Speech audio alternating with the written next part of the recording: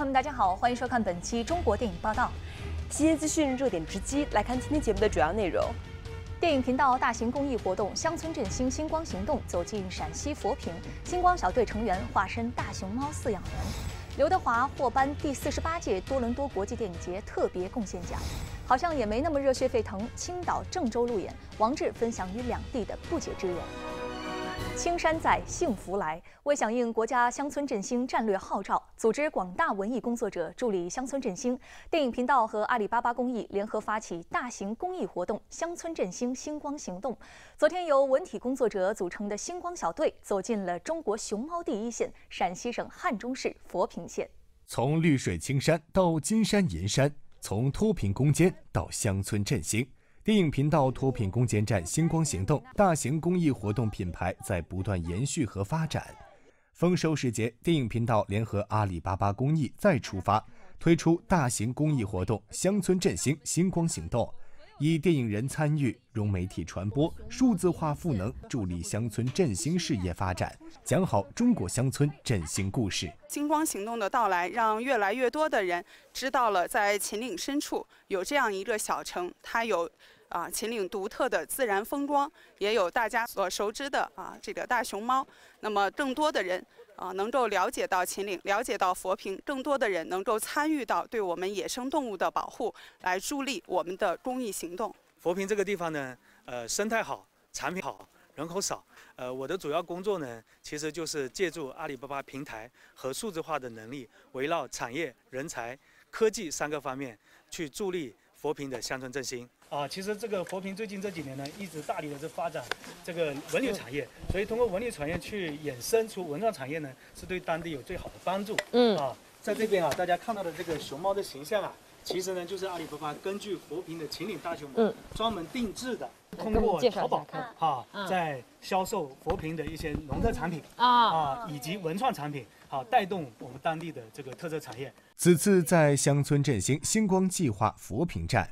段奥娟、何瑞贤、胡连新、刘宇和队长张兰心五人组成了星光小队，与熊猫结对子，沉浸式参与了大熊猫的饲养与保护。别走别走！啊，我的宝贝，好可爱呀！我第一次看熊猫。嗨，你叫什么名字？这不就是我最向往的生活吗？当天的星光发布会上，佛坪县人民政府为各位星光小队的成员颁发了佛坪秦岭大熊猫小镇荣誉村民证书和佛坪秦岭大熊猫星光守护官奖杯。星光行动，我们。在行动。昨天，电影频道还联合阿里巴巴公益推出了“乡村振兴星光行动”大型公益项目融媒体直播，全景直击星光小队的佛坪之行。直播中，我们星光小队的成员们不仅化身熊猫铲屎官，还向大家推介起了佛坪的特色农产品。昨天的直播中，段奥娟、何瑞贤、胡连新、刘宇四位星光小队的成员，在队长张兰心的带领下，化身大熊猫饲养员。与佛坪大熊猫 F 四、秦韵、雪雪、正仔、佳佳结成对子，俩俩一组吧。我们一起去找佳佳和秦韵。咱们是正仔和雪雪，是不是？正仔，哎，在这儿可以看得到呀。那我们出发吧。走，出发。走。胡连新和刘宇还来到了熊猫厨房，亲手制作了熊猫零食窝窝头。你为什么上手这么专业？三秒钟成了。你下手放平，嗯，托在上面。对，先一定要保证湿润，嗯，然后这个手弧度用这个弧度，嗯，转，哦，转，对，两个耳朵，好像熊猫的屁股尾巴的地方。我的作品完成了。段奥娟和何瑞贤先是化身农夫为熊猫上山砍竹，又摇身一变成为铲屎官，将熊猫宿舍打扫得干干净净。这熊猫的便便，对，闻一下。那他们有这个就是竹子香，就是对，全是竹子，因为它吃的是种子拉的也不会不会的，就一点那种便便的味道都没有，真的很清香。就刚才我我我们在上面的时候砍的时候，我嚼的那个味道，跟它刚刚我闻的味道是一个味道。张兰心作为队长，不仅和两个小分队一起体验了与大熊猫的互动。还到佛坪的农业园区，为大家推荐了当地的特色鲟鱼和智慧养蜂。好山好水养好鱼，这里的整个环境非常适合它的生长。哇，你们都是宝，你们要好好长大呀！一系列的星光行动不仅让山外的朋友们看到了佛坪乡村振兴事业的丰硕成果，也让星光小队的几位成员收获满满。他们每人还根据当天的活动感悟，创作了各自的艺术作品，呼吁更多人了解佛坪，走进佛坪，爱上佛坪。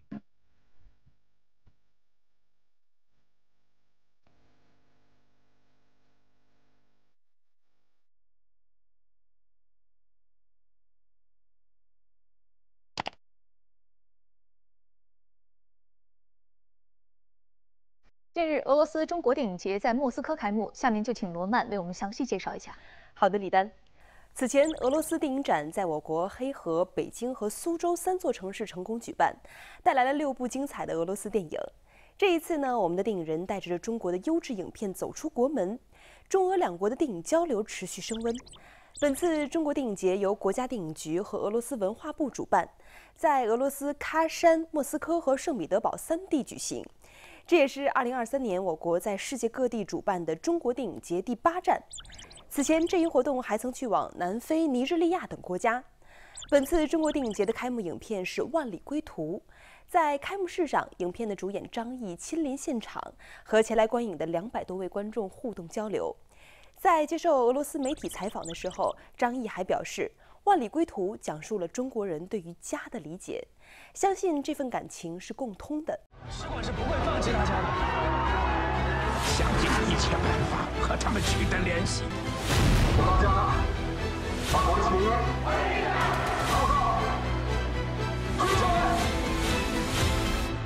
我们带你们回家。除了《万里归途》，本次电影节还展映了多部影片，他们都像张译所说的那样，探讨了某些人类共通的情感。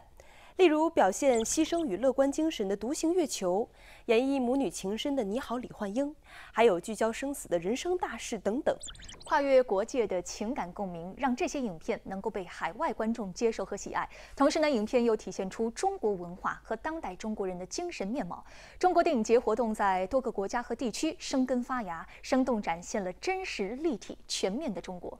中国电影正向着世界各地扬帆出海。昨天，刘德华带着自己的新片《红毯先生》亮相第四十八届多伦多国际电影节。这部刘德华主演、宁浩导演的新片顺利完成了全球首映。刘德华还捧回了多伦多国际电影节的特别贡献奖，他也是第一位获得这个奖项的中国电影人。领奖时，刘德华还邀请宁浩与他一起分享了这个喜悦的时刻。刘德华在获奖感言中说道：“选择自己的道路，努力奋斗，然后做到最好。”《红毯先生》中，他扮演的角色想要用一部作品证明自己，而影片外的他，这种未曾改变的认真态度和旺盛的创作活力早已无需证明。今年除了已经上映的《流浪地球二》，他还有《莫斯科行动》《前行》《金手指》三部影片已经定档。另外，《危机航线》和《红毯先生》也有望在今年年内上映。刘德华始终活跃在大银幕上，同时呢，也活跃在全世界电影人和影迷的视线中。不仅为我们带来了一部部新的作品，还向世界展示着中国电影人的活力与风采。电影好像也没那么热血沸腾，将于九月二十八日上映。近日，主演王志带着影片先后来到山东青岛、河南郑州路演，他和这两个城市都有着不解之缘。我第一次来青岛拍戏，我还记得应该是在《流浪地球一》的时候，第一次来到青岛拍戏，那个时候就是期待满满。但是今天我也是这样的心情，然后因为带着新片又来到了青岛，我感觉我半个家快在青岛了。因为《地球》的时候在这边拍了，呃，小一年的时间吧。然后我们这部戏本来是两个月左右是要拍摄完成的，结果因为拍摄难度各种原因增加到了八个月，所以我们在青岛因为热血沸腾又住了八个月的时间。非常欢迎魏教练能来到我们的拉指甲支架，这就是我们的全体阵容。好好好了好了，可以了可以了，好了好了，不需要了不需要，停停。好像也没那么热血沸腾。讲述由智力障碍人士组成的仁爱之家篮球队完成赛场夺冠梦想的故事。除了职业演员，片中还有不少角色由真正的智力障碍人士出演。我们也希望通过这部电影，能让大家看到智力障碍人士这些新青年们，他们生活中其实是非常可爱的人。希望大家给予善意。中国，兴奋起来，兴奋起来！魏教练。请立刻停止你殴打残疾人的行为。哦，行行行，来，自己都给自己两下。王志还带着好像也没那么热血沸腾，来到了河南郑州进行路演。这里和他同样缘分不浅。大家都知道我是嫁到郑州了，嗯，所以这样说。作为郑州媳妇，王志此次回婆家倍感亲切。影片中有诸多喜剧元素，除了魏翔、王志等人的演绎外，几个智力障碍演员真诚自然的临场发挥也功不可没。跑过去以后，突然帅哥就说：“你们都别喊了，教练可能死了。”当时魏教练知道帅哥要说什么，直接就笑炸尸。其实这个电影有很多这样的，就是孩子来自孩子们的神来之笔，会给我们的这个电影增加了很多好的那个色彩。别吵了，教练可能死了。希望大家能够在这两小时之内感受到我们的快乐、温暖和治愈。提前祝大家中秋国庆快乐！电影《鹦鹉杀》正在上映。这部充满悬疑感的作品是马迎新的导演处女作。身为女性，她希望能够用自己的观察，让更多人理解遭遇情感诈骗的女性背后的挣扎。而说到周冬雨和张宇的这一次表演，她透露绝对有惊喜。中国电影报道的观众朋友们，大家好，我是《鹦鹉杀》的导演编剧马迎新。那件事情你想的怎么样了？粉色玫瑰，叫马迎新。电影《鹦鹉杀》讲述了都市白领周然遭遇杀猪盘骗局，他被骗走所有积蓄后决定复仇的故事。让马迎新产生创作欲望的，正是几年前那些真实的杀猪盘新闻。其实会陆续的看到一些杀猪盘的新闻，然后在这样的新闻下面，就是常常会看到很多的留言，然后这留言可能要么是很不解，说这些女性为什么会被骗。另外就是可能会觉得这些被骗的女性一定都是很愚蠢的人，让我对这个事情就产生了一个很很大的好奇。后来我就去接触到一些受害者，就发现这些受害者都是非常正常、非常聪明的一些女性。这个被骗的过程究竟是怎么样的？让我觉得可能这是一个可发展的题材。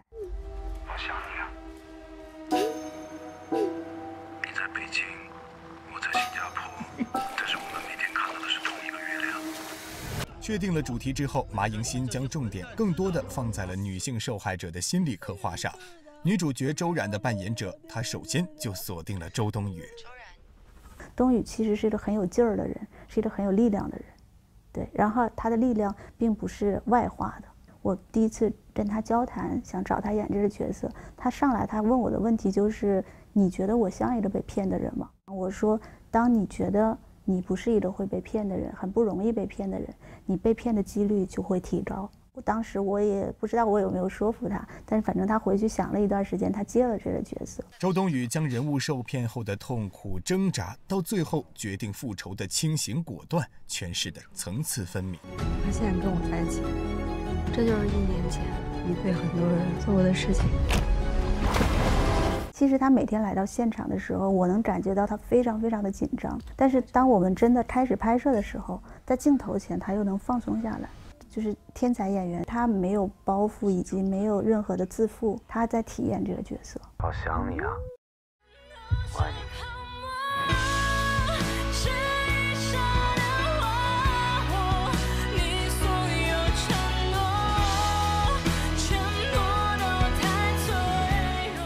扮演骗子的张宇也让导演非常欣喜。他看似优雅温柔，实则狡诈绝情，在真真假假中自由行骗。张宇他使我特别兴奋的地方是他本人和这个角色最契合的地方，就是非常善于去思索的。他会不断的在想很多很多的事情，包括我们有很多剧本上的讨论。他其实是个很严谨的人，某种程度上，对他想的非常非常的多。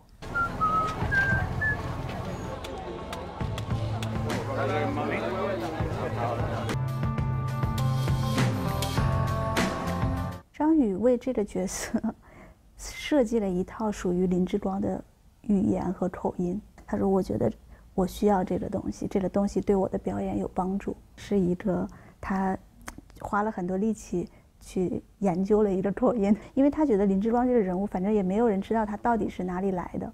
然后他可能确实也有过在不同地方的生活经验的一个人，所以他可能会形成一种在很多地方生活过，你没有办法很难去辨认他就来自哪里的一个口音。萨拉曼，萨拉曼，萨拉曼，这是不错的哦，煮一煮就很好吃哦。此外，麻迎新还揭示了片名《鹦鹉杀》中包含的暗喻。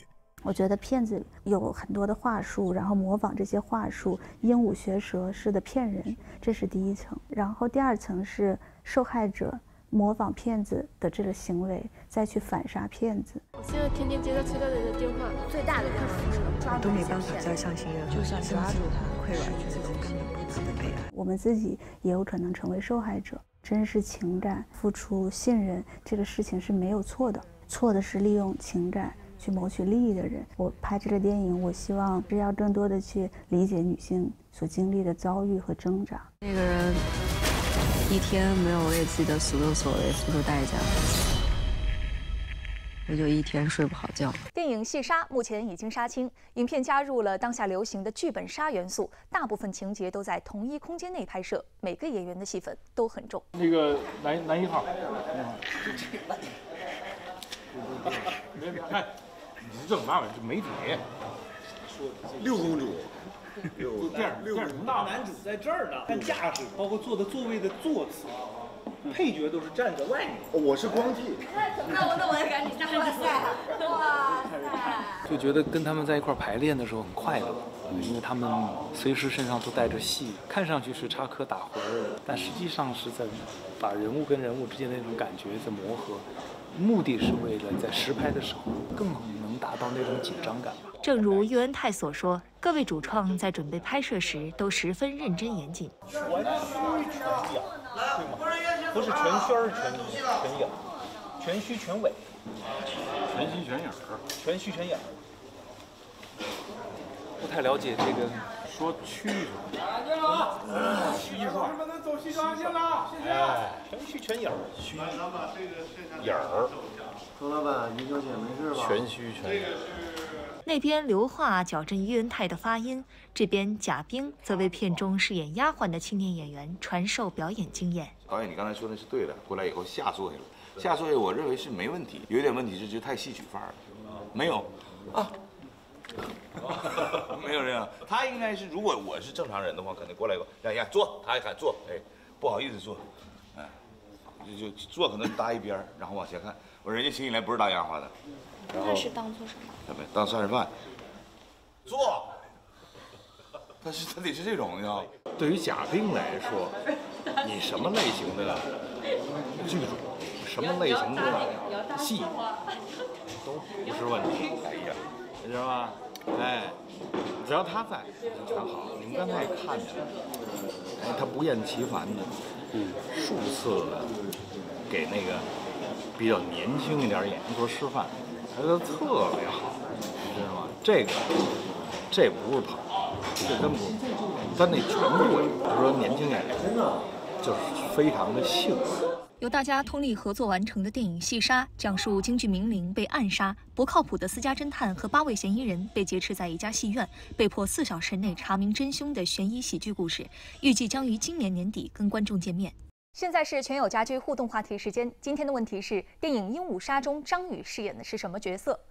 登录中国电影报道官方微博，积极参与话题互动，您就有机会获得《鹦鹉杀》电影票。更加幸运的观众还将获得由全友家居提供的精美礼品。祝您好运！